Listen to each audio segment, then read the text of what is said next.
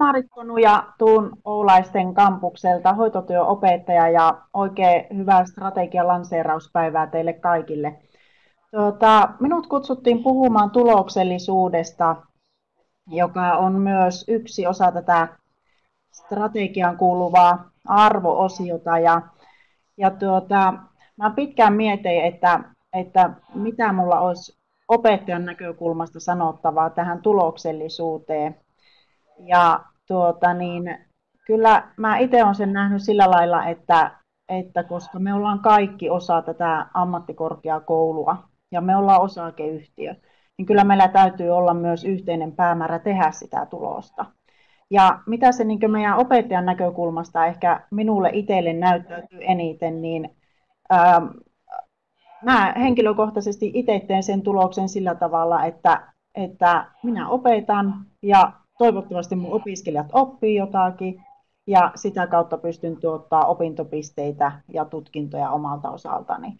Eli tämä on yksi osa, mutta tosi tärkeä osa tätä, tätä omaa työtä, mutta myös sitä yhteistä tulosta.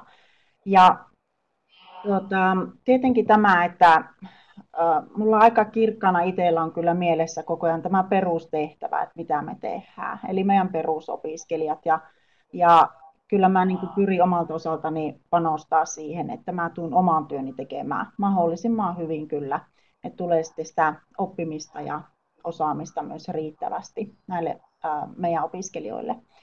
Ja mä myös pohdin hieman tätäkin, että minkälaisia keinoja meillä on tehdä tätä tulosta. Niin ää, varmaan yksi, yksi tällainen hyvä keino on pyrkiä saamaan se opetus mahdollisimman esteettömäksi. Eli mahdollistetaan sitä monimuotoisuutta näille meidän opiskelijoille, oli ne nyt sitten missä päin tahansa. Pyritään rakentamaan sellaiset ö, opetusmenetelmät ja systeemit, että he pystyvät pystyy opiskelemaan muuallakin kuin siellä fyysisessä kouluympäristössä. Ää, mä itse olen soteen opettaja ja koulutan sairaanhoitajia, niin sitä kautta tulee myös tällainen vaatimus, että kaikkia ei voi siellä verkossa tosiaankaan opettaa, että on hyvin tämmöinen käytännönläheinen ammatti vielä kaiken lisäksi, niin kyllä siellä on se paikkaansa myös sille ihan fyysiselle, fyysisellekin opetukselle ja, ja niille lähikontaktipäiville.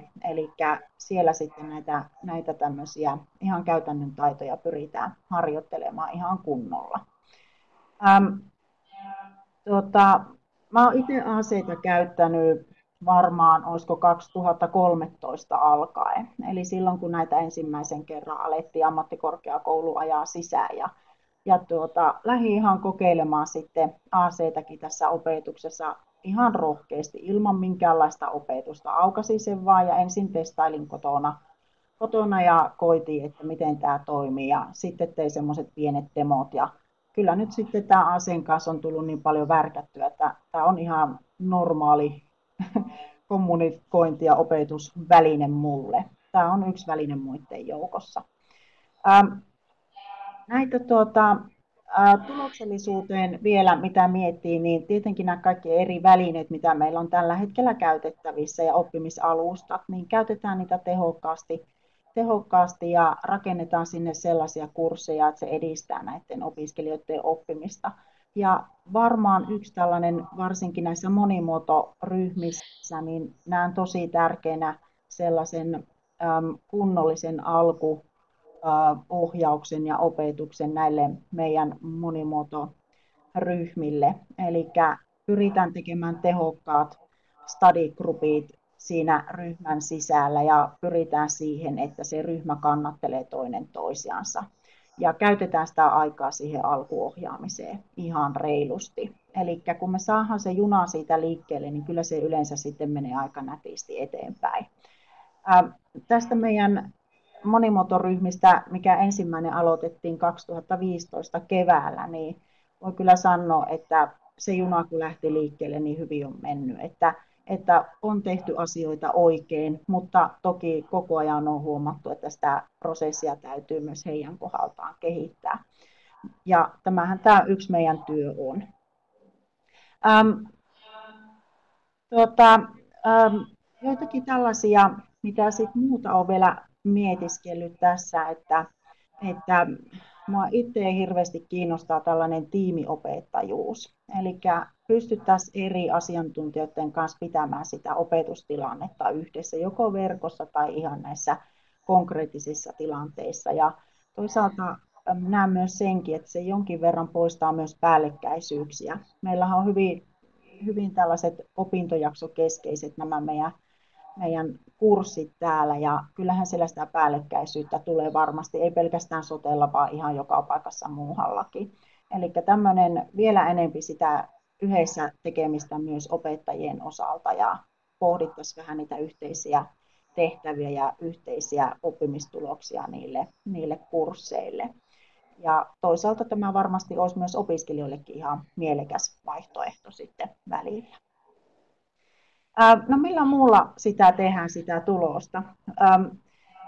Minusta oli oikeastaan hirveän ihana, että vararehtori Laitinen laittoi niitä ruoskakirjeitä meille tulemaan niistä opintopisteistä, että nyt niitä pitää sinne rekisteriin laittaa, laittaa eikä jättää roikkumaan, niin kyllähän nämä opintopisteet on iso osa ja meillä on tietty tavoite, paljonko meidän pitää vuosittain näitä opintopisteitä saada, niin tässäkin jokainen kantaa sen, sen oman kortensa kekoon, että huolehtii ne omat pisteensä sitten opiskelijoiden osalta sinne rekisteriin asianmukaisesti ja riittävän aikaisessa vaiheessa, että, että tuota, tämä on ihan, ihan semmoinen haaste kaikille meille, että pidetään tämmöiset perusasiat kuitenkin järjestyksessä. Ja tuota, kyllä tämä monimuoto tuo minun mielestä mahdollisuutta, e, erilainen digi, tällainen digiopettaminen tuo sitä mahdollisuutta, mutta myös sitä haastetta. Ja, ja tuota, en mä ole itse juurikaan mitään koulutuksia mihinkään saanut. Mä oon ottanut vaan rohkeasti käyttöön kaiken näköisiä välineitä ja lähtenyt niitä testaamaan ja koittaa ja ottanut palautetta opiskelijoilta – yksittäisten kurssien osalta ja vähän tehnyt sitä arviointia. Välillä menee oikeasti ihan mettään, mutta mitä sitten? Tämä on niin elämää, että ei me voi kehittyä, jos aina pyritään ihan täydellisiin suorituksiin, että, että mennään, välillä mennään kantapään kautta, mutta kyllä se sieltä aina joku hyvä keino löytyy ja sitten se toinen keino ei välttämättä johonkin toiseen koulutukseen passaa sitten ollenkaan, että se pitää vaan löytää sieltä se oma, oma juttuunsa jokaiseen. Ää, näin, mutta tuota, näin opiskelijoiden ää, opettamisen näkökulmasta niin varmaan tässä, tässä, että tehdään hyvää työtä ja ajatellaan, että me ollaan kaikki osa tätä ammattikorkeakoulua. Ei me olla yksittäin soteen tai liiketalouden tai tekniikan työntekijöitä, vaan kyllä me ollaan ihan tätä organisaatiota osa. Ja meillä on yhteinen tavoite. Meidän pitää tehdä sitä tulosta niin kauan kuin ollaan osakeyhtiö.